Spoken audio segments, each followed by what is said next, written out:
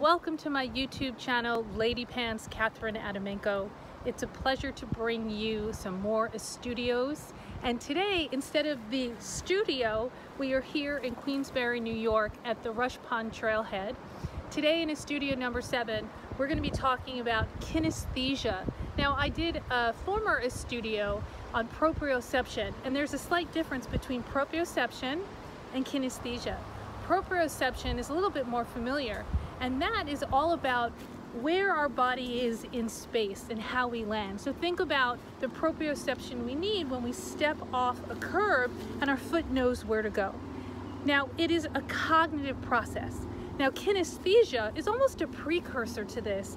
This is more behavioral, and it is using the proprioceptors in our muscles, right? So I also had a, a former a studio about the synapses, right? It's the muscle and the synapse connection. And this is again, my kind of putting it together. So kinesthesia is all about the body's awareness moving in space.